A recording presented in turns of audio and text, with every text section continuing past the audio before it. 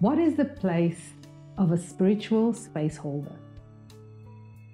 Hi, my name is Liliana Martins and welcome to In Your Element TV. Today, we will be working on your spiritual body, which is represented by the fire element. What is a spiritual space holder? A spiritual space holder is that person that holds an energetic space in your heart for another person's energy when they cannot be there because of divine timing alignment. In order to fulfill or to fully integrate this concept, watch our episode Aligning with Divine Timing here at In Your Element TV. So remember to like, subscribe, and notify so we can all go through these times together.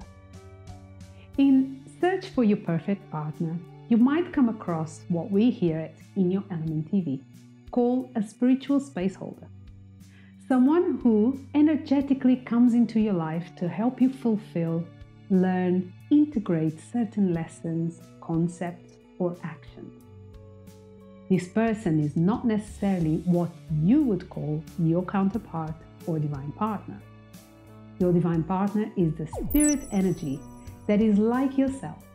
And when you were coming down from source to this plane of reality, you agreed to be counterparts in co creating life here at some point in time.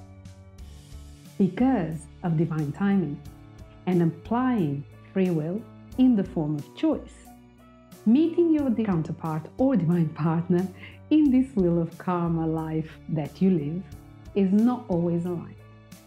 So, Source aligns you with someone else's energy to help you fulfill your purpose, whilst divine timing aligns you to meet your counterpart.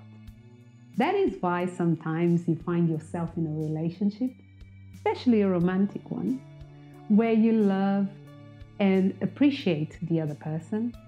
You build a life together, but in your heart, you know that they are not your divine partner.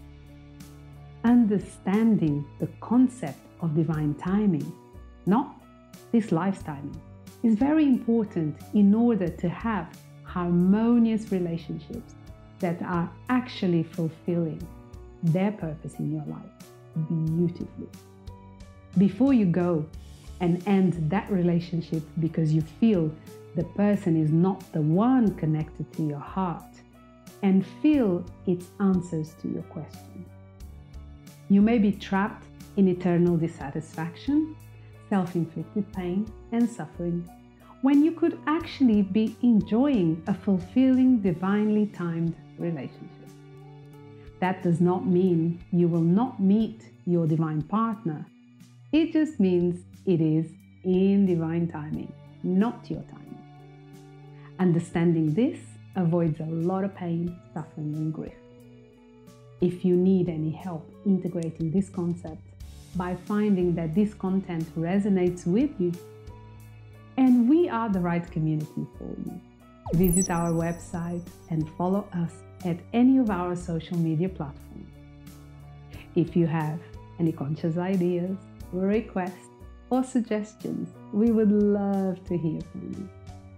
So remember to give us your feedback by leaving a note in the comments box. See you in the vortex. Goodbye.